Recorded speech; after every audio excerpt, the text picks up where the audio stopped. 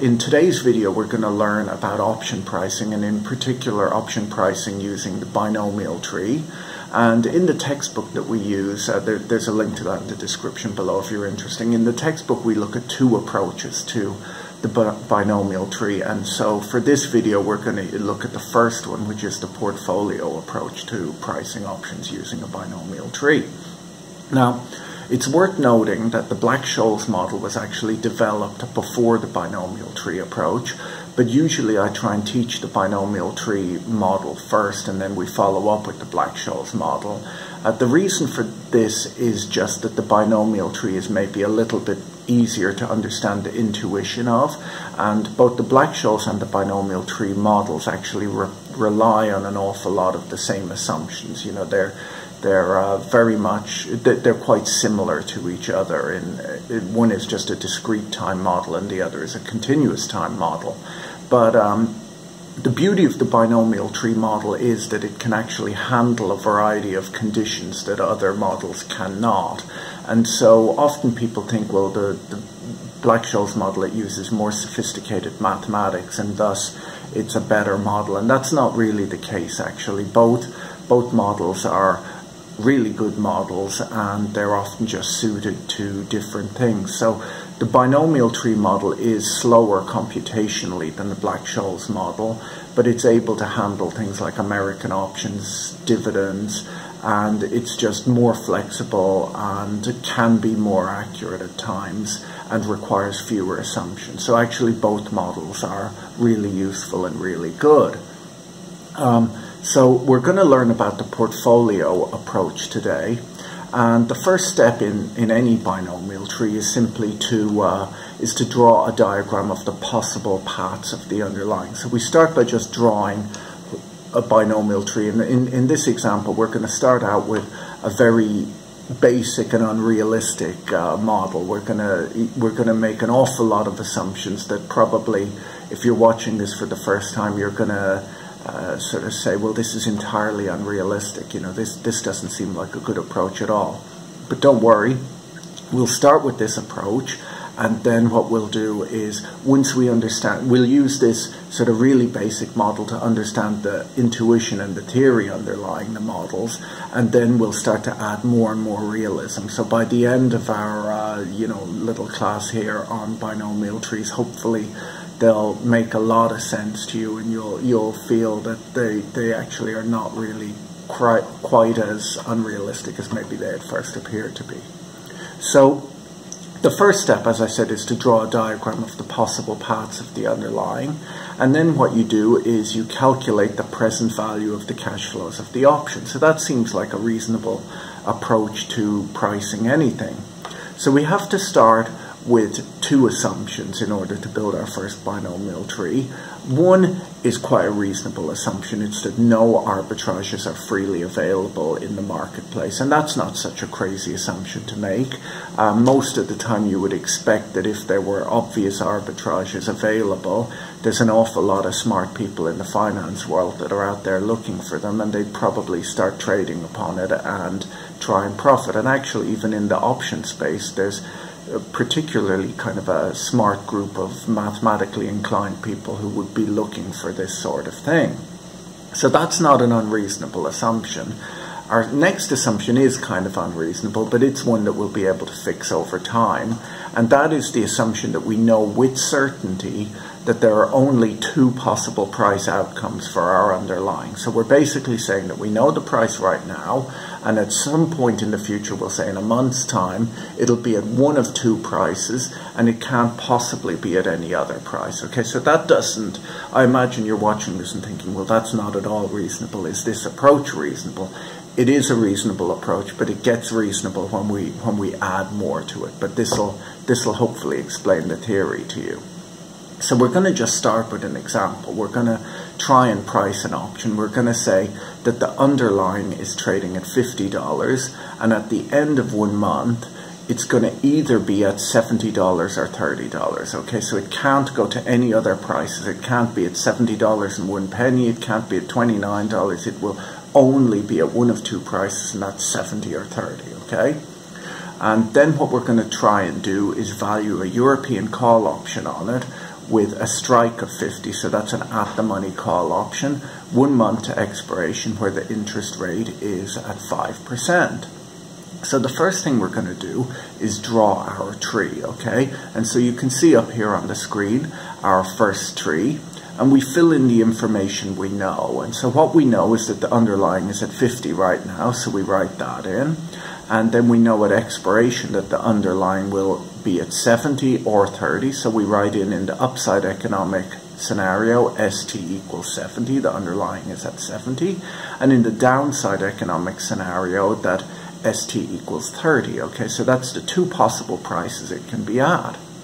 The next thing we have to do now is to work out what the option will be worth. It's a call option. What will it be worth in these two scenarios? So if you have a call option, which is the right but not the obligation to buy the underlying at the strike price, which is 50, and the underlying is at 70, at expiration, that call option has to be worth the difference between 70 and 50, which is $20. So we're going to write that in as well. C equals 20 in the upside scenario. Now, in the downside economic scenario, you have the right but not the obligation to buy the underlying at 50, but the underlying is actually trading at 30. So you would not exercise that option. You wouldn't buy at 50 when uh, when you can just go out in the market and buy at 30. So in that scenario, you would just tear up your options contract, throw it away. It's expired, worthless. Okay, so we write that information in as well. C equals zero in the downside scenario. Our call option is worth nothing. Okay, so that is some information. So far, we've just drawn a tree and filled in the information we know, and we've done a tiny calculation, which is what the call option is worth in either scenario. So now for the theory, now for the bit that, uh, that this video is all about. What we want to do here is we want to see if we can set up a portfolio with some amount of the underlying and the derivative, in this case a call option, that, that allows us to know the value of, port, of our portfolio at expiration. By that I mean, is there an amount of the underlying that you could own along with the along with the call option that in both the upside and the downside economic scenario uh, you, you'd end up with the exact same amount of money. Now, considering there are only two possible outcomes, right? There's, we're in a world in which this uh, underlying can only be at one of two prices at expiration. Essentially, if we can set up a portfolio like this, we're essentially saying that we have a portfolio that pays us the exact same amount no matter what happens in the economy, right?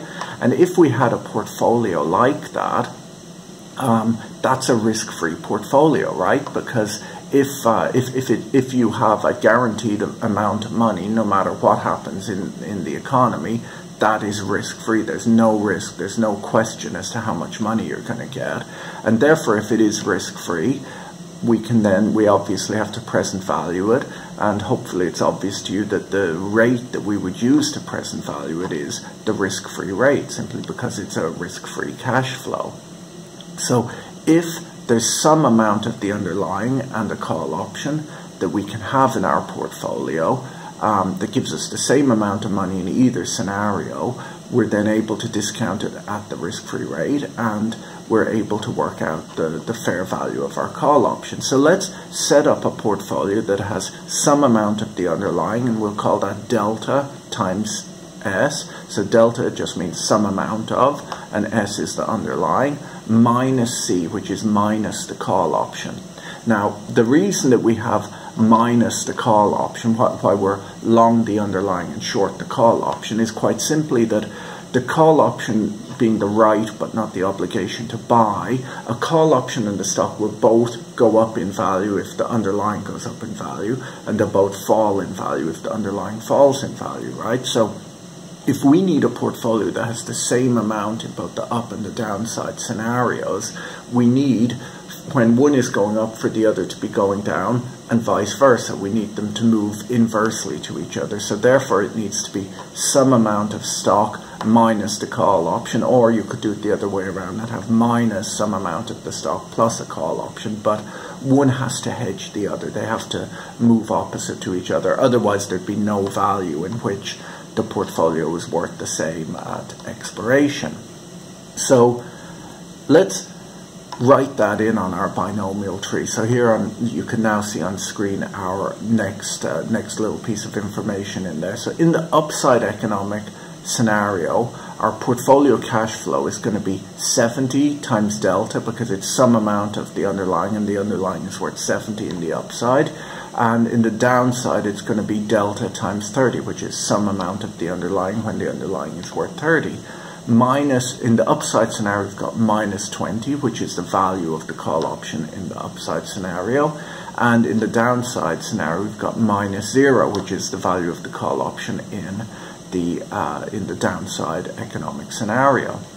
So, in order to work out if there's an amount of the underlying that we can hold, that will make uh, that, that will give us the same payout in either scenario. We just have to make those two portfolios equal to each other and solve for delta. So we write in delta times 70 minus 20 equals delta times 30 and then we solve for delta. Now in this example, uh, when we solve for delta, we find that the answer is 0.5. So let's look at that. 0.5 times 70 is 35 minus 20 gives us 15 in the upside scenario. In the downside scenario, um, 0.5 times 30 gives us 15, minus 0 is still 15, right? So in either scenario, we have a payout of 15. So we've now worked out that there's some amount of it that we can, of the underlying we can hold that will actually make our portfolio riskless. So if there is a value for delta where the two portfolios are identical at maturity in all possible scenarios, um, we can then just present value that. And then, of course, because it's a portfolio, it contains both the stock and it, it, contains some amount of the stock, in our example, half of a share of the stock, and minus a call option. We then just have to strip out the, the amount of the stock and we have to flip the sign on the call option to have the value of the call option. So we take our 15 and we present value it to, to get the, the price of it today.